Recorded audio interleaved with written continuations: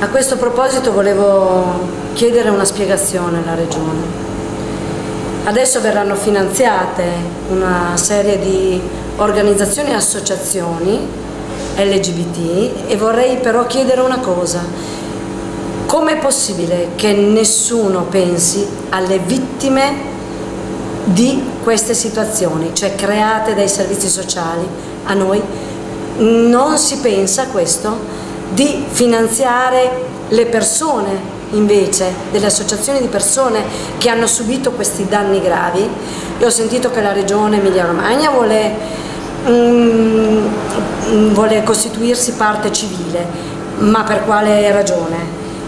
Difendere per, per difendere noi o per difendere delle persone che nei servizi hanno abusato del loro potere per queste, eh, per queste cose. Eh? Io questo lo vorrei proprio sapere.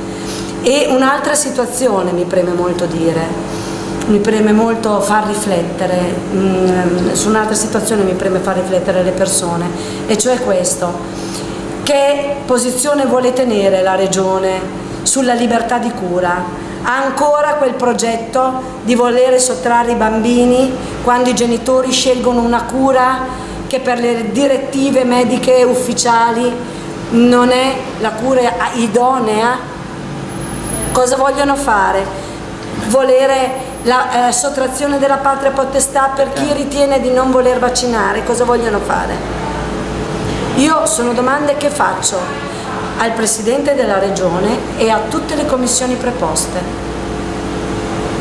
Grazie. La ringraziamo moltissimo. Valeria, speriamo di vederci sabato. Ci sarà qui, uh, cosa c'è qui a sabato? C'è una fiaccolata qui a Reggio Emilia molto importante invito tutte le persone che possono a partecipare alle 20.30 davanti al municipio. Grazie.